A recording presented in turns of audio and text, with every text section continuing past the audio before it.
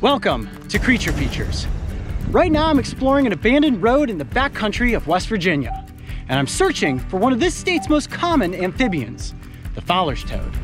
And I have a feeling with a little bit of searching and just a little bit of luck, there's a really good chance we're gonna find one. Here we go. Oh, this is perfect. All of that wetland area is perfect for toad breeding. In the spring, you'll find males and females in these pockets of water. They're usually breeding at night, and during the day, they're hiding up in the grasses and the underbrush. So I have a feeling this is probably a great place to start looking. Here's another pocket of water. Ooh, look at this. Yes, tadpoles, check it out. Those are definitely toad tadpoles. Wow. Uh, like I said, where you find the tadpoles, you're definitely gonna find the toads. We must be close. This is definitely a good area to start exploring.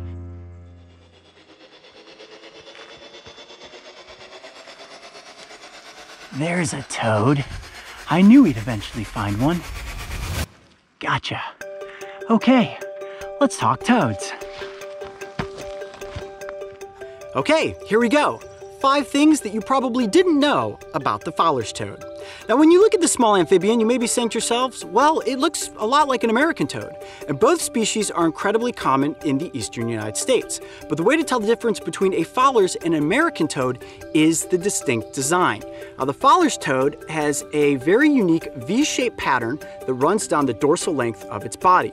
You'll also notice that it doesn't have large warts on its hind legs. The American toad has a more speckled patterning and it also has those large warts on its back legs. So that's how basically you can tell the difference. Number two, while they are without question adorable and for the most part safe to interact with, all toads are technically poisonous. That poison is stored in a gland known as the parotoid gland right behind the eye and above the ear. Now, poison can be secreted from that gland or from pores that run down the length of the toad's body. That poison is used as a deterrent to predators. While it can be toxic to some species, it's not necessarily lethal to humans, which means they are safe to catch. But if you do admire a toad, I always recommend that you wash your hands afterwards because those toxins can be slightly irritating to the skin. Number three, toads are aggressive predators, and they will eat pretty much anything they come across that can fit in their mouths. Insects, arachnids, worms, but they specialize in seeking out beetles. I'm talking about the bugs, not the relatively famous musicians. Number four, the females generally tend to be bigger than the males, and given the size of this toad, I'm guessing it's a male.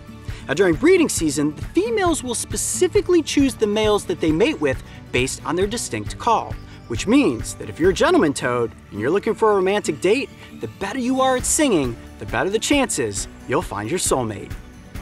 Number five, during breeding season, males and females will gather together in pools of water where the females are capable of laying up to 10,000 eggs. After the males fertilize those eggs, they eventually hatch into tadpoles, and after several weeks, metamorphosize into teeny tiny toads. And there you have it, five things that you likely didn't know about the Fowler's toad. I'm Coyote Peterson, be brave, stay wild. We'll see you on the next Creature Feature.